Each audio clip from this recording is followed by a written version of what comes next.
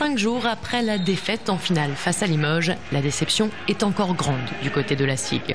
Un titre de champion envolé, des regrets difficiles à digérer, mais qui n'entachent pas une bonne saison. C'est une excellente saison, mais euh, malheureusement, il y a une équipe qui fait encore une meilleure saison que nous.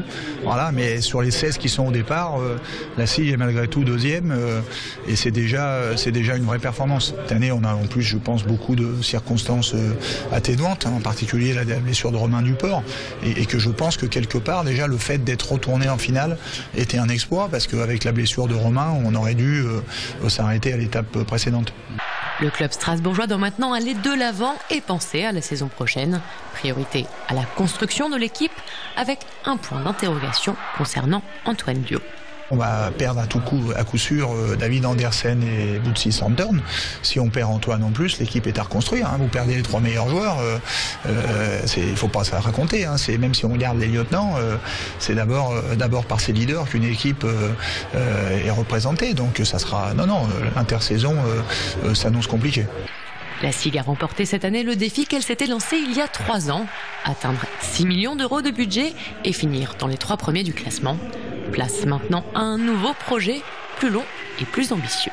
Il a pour euh, vision de faire en sorte que le budget du club passe de 6 à 9 millions d'euros d'une part, et que d'autre part, le club soit en capacité de jouer dans une salle de 10 000 euh, places, hein, euh, ce qui n'est pas le cas du Rhenus aujourd'hui, pour pouvoir, le moment venu, prétendre, comme d'autres clubs français de, de grandes agglomérations, prétendre à une place dans la ligue fermée que pourrait créer l'Euroleague, un peu comme le modèle de la NBA. C'est-à-dire que, euh, pour, parler clairement, dans cinq ans, le champion de France ne serait plus directement qualifié pour l'Euroleague.